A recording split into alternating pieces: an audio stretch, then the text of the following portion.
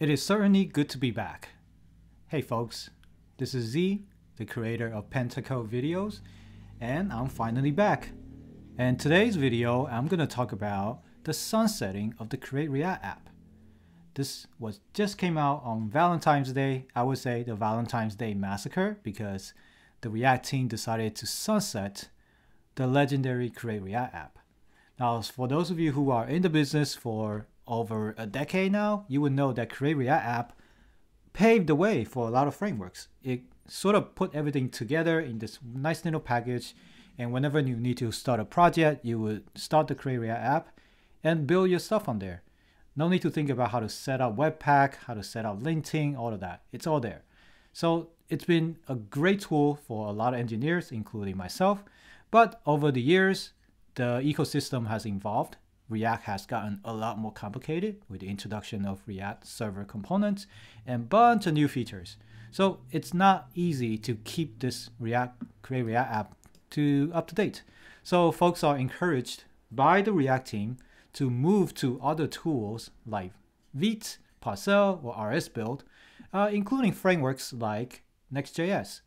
So whatever you might think about Next.js, that's not the point of this video. This point, the point of this video is I want to go over one of the tools that I've been hearing a lot from a lot of people.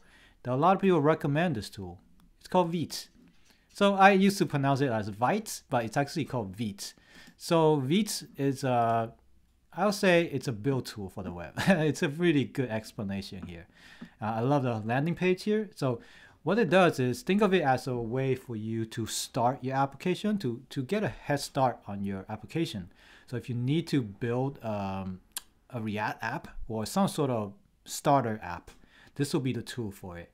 And it actually is extremely fast. This lightning logo fits Vite very, very well. Extremely fast. And it supports not just React, but a bunch of other popular frameworks like Vue, for example. So all of these are supported. And um, I just want to check it out for you today and see what you can do. So if you let's say we don't have a Create React app anymore. Now what do we do? So let's check it out. So for Vite, I sort of did a bit of research, but I think um, I want to explore the tool with you together. So today, let's jump into our trusty repo here. So Pentacode, by the way, it's on GitHub. It's in the description below if you want to clone it and you'll have all the code from all of my video lessons. So here, I just want to start a new V app. So on the website, there is a get started guide.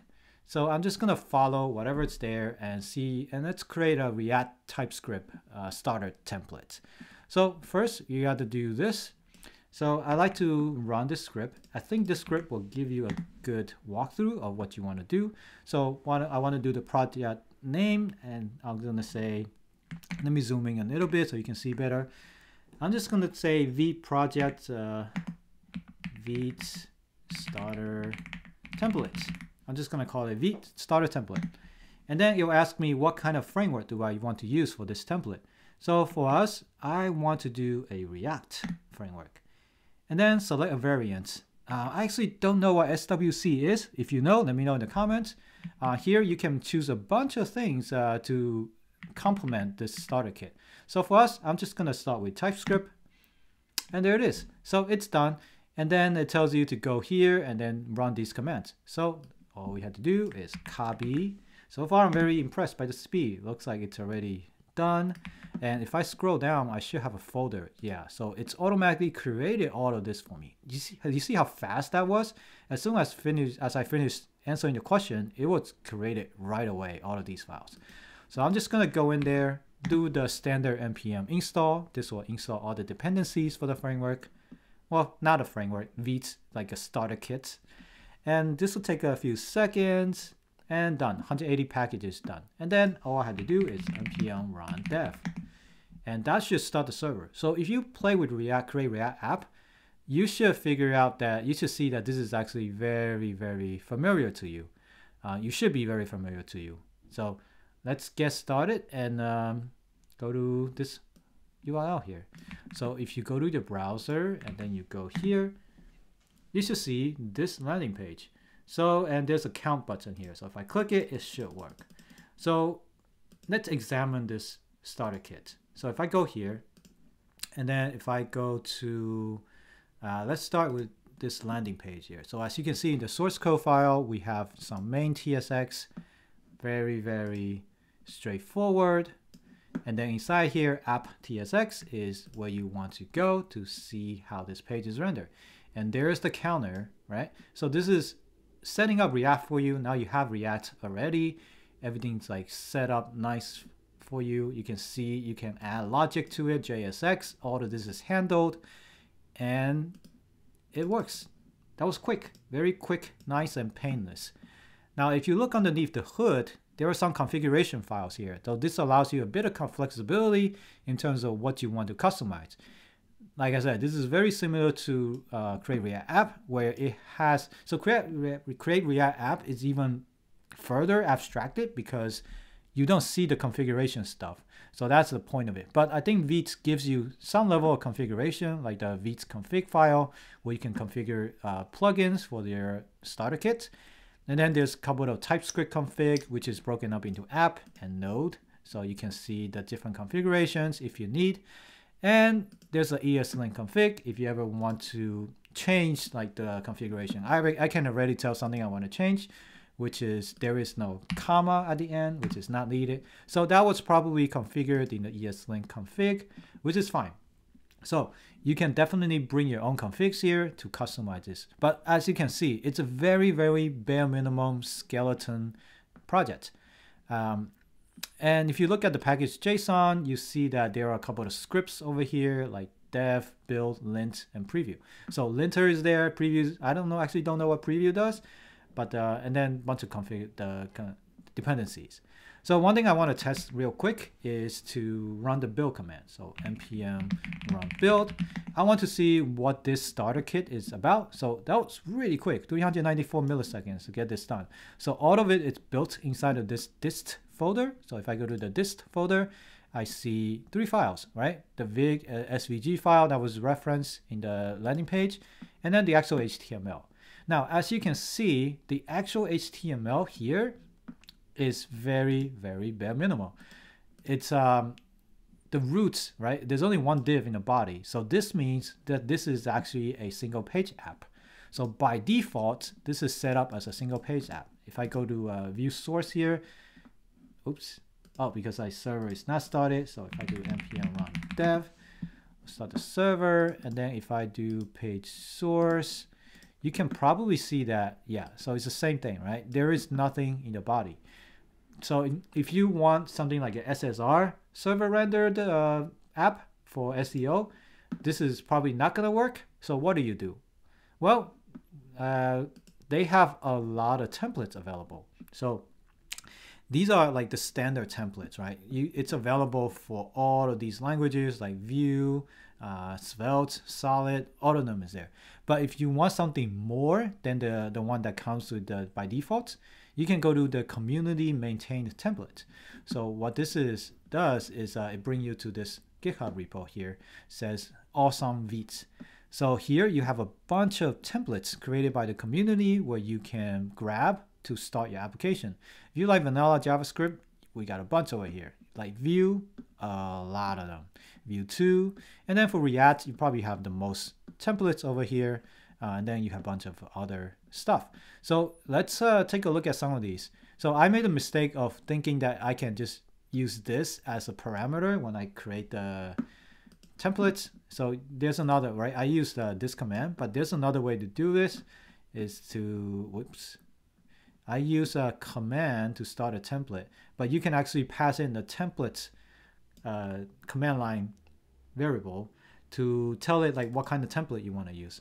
I thought I just had to copy the name and then it will just work, but that doesn't work.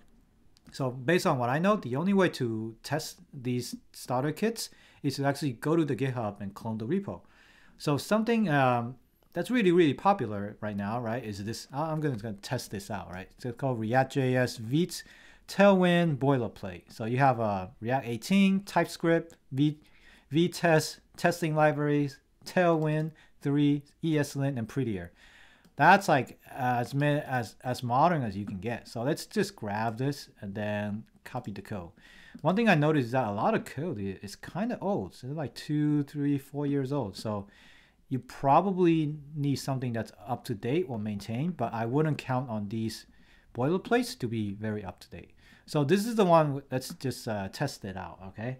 This is, um, looks like Tailwind, React, so all of this stuff built in. So I'm just gonna, it's also like all of these are powered by Vite.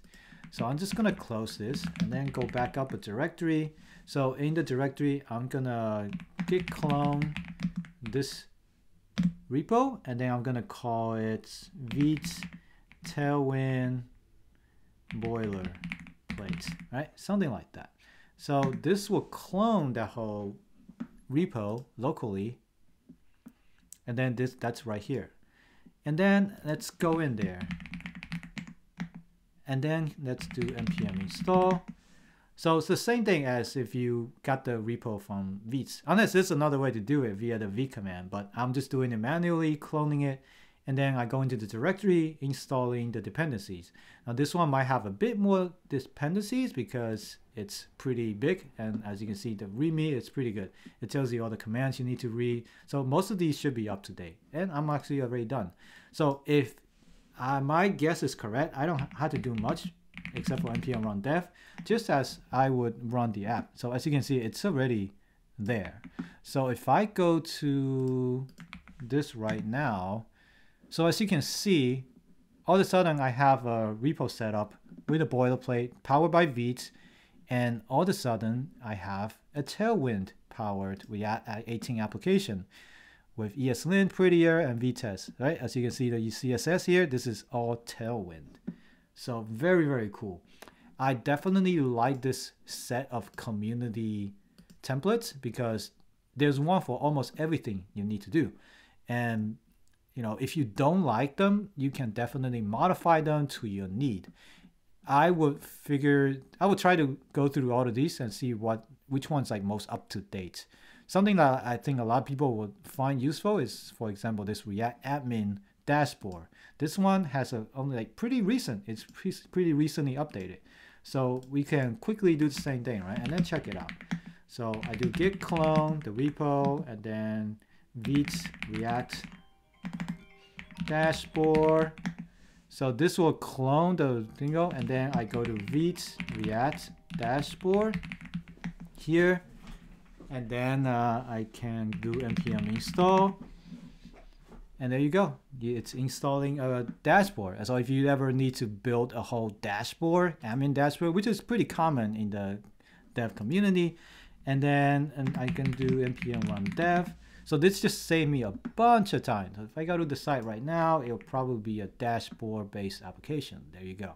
So everything's all set up for you. I wonder if this is Tailwind but probably not yeah, so it's not tailwind. So as you can see, you have a lot of varieties and you can, a lot of this is made for you. So I would definitely check it out because all of these are powered by Vite. So if you need to like run certain commands, they will all be very, very similar, right? Dev, build, lint, preview. So it's like a, I think of it like a framework for building starter kits or boilerplates. So I hope you find this video helpful now that you probably can rest easily because you have a new application that's replacing the Create React app. And if you ever need a place to host your application, check out the DigitalOcean coupon code in the description below if you want to sign up with $200 of credits to check it out. So it will also help me out as well. With that said, I hope to see you guys next time. I will begin to upload more videos and uh, I hope you guys subscribe and spread the word. Thanks.